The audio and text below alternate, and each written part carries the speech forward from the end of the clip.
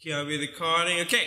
Hi, my name is Saadh and I'm applying for the videography position available at Mindvalley. So I'm going to tell you a bit about myself. What? Can't you see I'm in the middle of something here? Yeah, I can see that, and that's why I'm here to stop you. Why? I'm doing fine. No, you can pull this. You're probably going to talk about all the things you can do, like color grading, audio enhancements, creative angles, and whatever. Uh, yeah, they have to know what I can do. Uh, no, it's real dumb. This is Mindvalley you're talking about.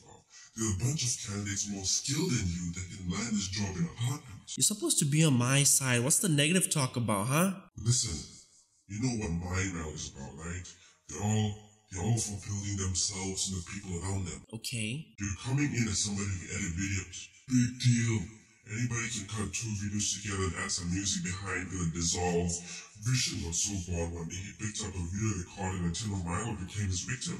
The job isn't that hard. Okay, so what do I do then? Think, how do you add value when you're part of that team? Wow, that's a cliche question. What is it you want to accomplish and how could joining them help you and the community around you? Yeah, I know it can be quite deep sometimes. Well, I like visual storytelling. I like making content more engaging to an audience so that it so that it would bring upon more impact when someone watches the video. Can you let me finish? Okay, chill fam. I'll cue some motivational music. See, the people of Mindvalley, they're all brilliant with amazing ideas.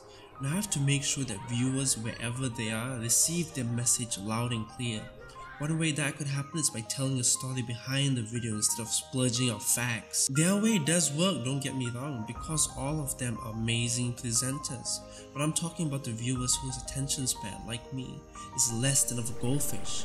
We might lose them. Imagine how many more people we could reach out to just because the content brought upon some kind of connection that made them get out there and do something instead of just beating upon their 9 to 5 job that gets them nowhere, that doesn't fulfill them in any way, that has them complain every now and then, oh I hate my job, I hate my life, why is this happening to me? That's deep, son.